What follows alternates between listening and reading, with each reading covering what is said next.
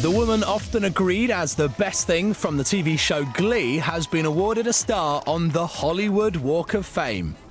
Jane Lynch swapped her character Sue Sylvester's scowly expression for a megawatt grin as she took to the podium. You know, back in 1992 when I came to Los Angeles, my mom, dad, and I walked on that side of Hollywood Boulevard searching for Greta Garbo, my favorite star. We found it, found her star, and took a picture of me like, there are no accidents really. There's just opportunities for us to grasp at to either say yes or no to something, but do something. Lynch had bit parts in movies before finding fame in 2009 as the brilliant, ball busting, red tracksuit wearing cheerleading coach in the hit Fox TV series.